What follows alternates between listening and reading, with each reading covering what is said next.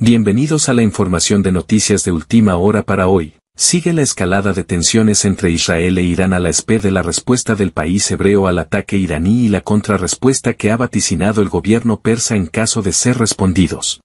Es inminente un ataque de Israel a Teherán, y atención porque en las últimas horas el gobierno de Reisi, Está amenazando con usar armas nunca antes vistas y el papel que estaría jugando Estados Unidos como aliado de Israel y de las fuerzas aéreas que están en máxima alerta en el Oriente Medio, tras su participación en favor de derribar drones y misiles que iban dirigidos a Israel, países como Francia, Alemania o Reino Unido, y las consecuencias a que se pueden enfrentar. Según lo ha advertido en las últimas horas el gobierno de Irán, esto sí el gobierno hebreo, lanza ataques aéreos o ataca territorio de Irán en respuesta a las acciones de Irán, luego de que Israel prometiera respuesta ante los hechos que tiene en vilo a toda la región del Oriente Medio y los temores de que esta zona del planeta esté al borde de una guerra total. De otro lado en las últimas horas, desde Occidente proponían a que se tuviera la calma desde Israel. Y de otro lado, desde el Comité de Seguridad del Departamento de Estado iraní, ha declarado a los medios orientales que Irán está preparado para utilizar un armas que jamás se han utilizado en su defecto. Si las FDI siguen respondiendo o que ataques a fuerzas proxy da igual, han dicho que van a contraatacar. Y en ese contexto de lo que está pasando en Oriente Medio, sobre el ataque de Irán a Israel con drones y misiles, al ataques de Israel al consulado iraní en Siria, se ha pronunciado en las últimas horas el presidente del país persa Ebrahim Reisi. También ha amenazado que cualquier ataque o respuesta de Israel al territorio persa se enfrentaría a una peligrosa y terrible respuesta por parte de la Guardia Revolucionaria de Irán, asegurando que la operación para castigar el agresor ha sido llevada con éxito. También aseguró que el Consejo de Seguridad de la ONU no cumplió con sus obligaciones legales de condenar los ataques de Israel al consulado iraní, Así añadió que Teherán de conformidad con su legítima defensa consagrado en el artículo 51 de la Carta Magna de la ONU, atacó los mismos centros donde se llevaron a cabo los actos maliciosos contra Irán. Mientras tanto el foco se centra más que todo en las acciones que pueda tomar el primer ministro de la nación hebrea Benjamin Netanyahu, y los detalles específicos de cuál será el ataque en respuesta al país persa, hasta la hora que grabamos el video aún no se conocen y esto al parecer también se da en medio de muchas discusiones que persisten, en el entorno del gabinete de guerra. Y se da en medio de la contención que piden los llamados de los aliados occidentales. El primer ministro de Israel ha pedido que se mantenga la unión referente al apoyo prestado para repeler este tipo de acciones de las líneas enemigas como el prestado por Estados Unidos, Reino Unido y Francia, para derrotar los drones y misiles persas. Hechos registrado en la noche del sábado 13 de abril de 2024. En este sentido debemos de hablar de Estados Unidos, quien fue advertido por Teherán en las últimas horas, según los medios orientales, los persas le han amenazado a la potencia norteamericana, que en el caso de intervenir en un ataque a Irán con Israel, esto tendría graves consecuencias.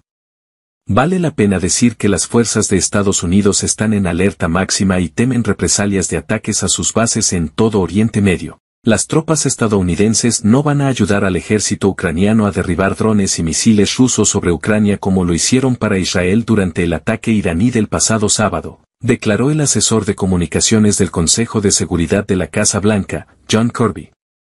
En medio de que el Pentágono anunció que las fuerzas estadounidenses habían interceptado decenas de misiles y drones lanzados contra territorio israelí, durante una rueda de prensa este lunes, Kirby fue preguntado por qué Estados Unidos no puede hacer lo mismo a favor del régimen de Kiev. Diferentes conflictos, diferente espacio aéreo, diferente panorama de amenazas.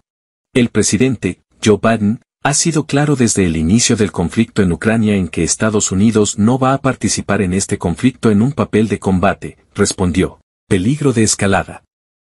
Previamente el mismo día, David Cameron, ministro de Exteriores del Reino Unido, cuyos casas derribaron varios drones iraníes, también se pronunció sobre el tema. Preguntado por qué la aviación británica no puede derribar drones sobre Ucrania, dijo que se trata de una pregunta interesante. Al mismo tiempo, subrayando que el Reino Unido ha hecho más que ningún otro país individualmente para ayudar a los ucranianos, señaló que hay que evitar una confrontación directa entre las fuerzas de la OTAN y las de Rusia. Si se quiere evitar una escalada en términos de una guerra europea más amplia, creo que lo que se debe evitar es que las tropas de la OTAN se enfrenten directamente a las tropas rusas. Eso sería un peligro de escalada, explicó. Teherán instó a los aliados occidentales de Israel a poner fin a su apoyo al moribundo régimen israelí, ilegal, terrorista y asesino de niños, y advirtió sobre las graves consecuencias que tendría la ayuda a las agresiones del país hebreo.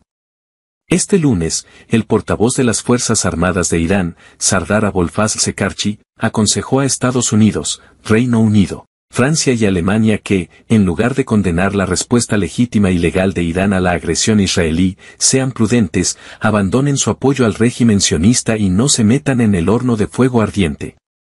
Al subrayar que Teherán no busca la expansión de la guerra, el vocero afirmó que si esos países occidentales y Tel Aviv se pasan de la raya, les cortaremos los pies con una respuesta más contundente que la que dimos al agresivo Israel.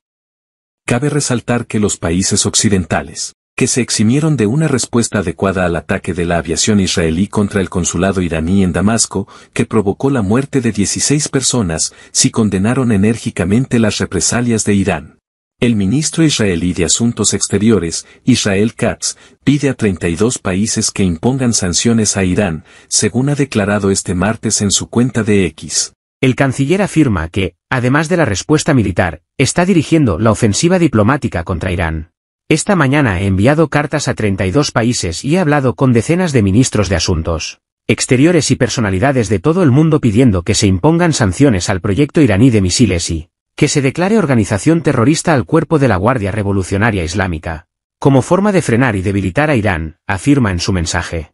De acuerdo con el jefe de la diplomacia israelí, hay que detener a Irán ahora, antes de que sea demasiado tarde. El jefe del Estado Mayor de las Fuerzas de Defensa de Israel, FDI, Ercia Levi, afirmó este lunes que el ataque iraní contra el país hebreo recibirá una respuesta. Miramos hacia adelante, estamos considerando nuestros pasos, y el lanzamiento de tantos misiles, misiles de crucero y vehículos aéreos no tripulados hacia el territorio del Estado de Israel. Encontrará una respuesta, advirtió Alevi. El lunes, el ministro de Asuntos Exteriores iraní, Hossein Amir Abdollayan, advirtió que si Israel continúa intensificando las tensiones con Teherán, enfrentará una respuesta rápida e intensificada. Amir Abdollayan, citado por el Ministerio de Asuntos Exteriores iraní durante una conversación telefónica con la ministra de Asuntos Exteriores alemana, Annalena Barbok, afirmó que si el régimen israelí continúa con sus aventuras y agrava la situación, la respuesta será inmediata y será aún mayor. Anteriormente, un alto funcionario de la administración dijo de forma anónima que ninguno de los drones lanzados por Irán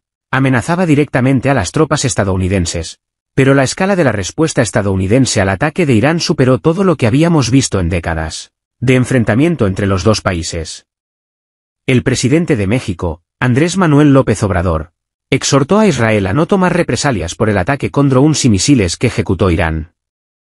Ojalá y las autoridades, como una muestra de buena voluntad, no lleven a cabo una represalia por lo que hizo Irán, ojalá, dijo. Añadió que si llega a pasar lo contrario y el gobierno israelí lanza un ataque contra Irán, se generará un episodio en el que se replicarán las acciones bélicas y militares, lo que provocará que el conflicto escale hacia una situación muy riesgosa para la vida de las personas.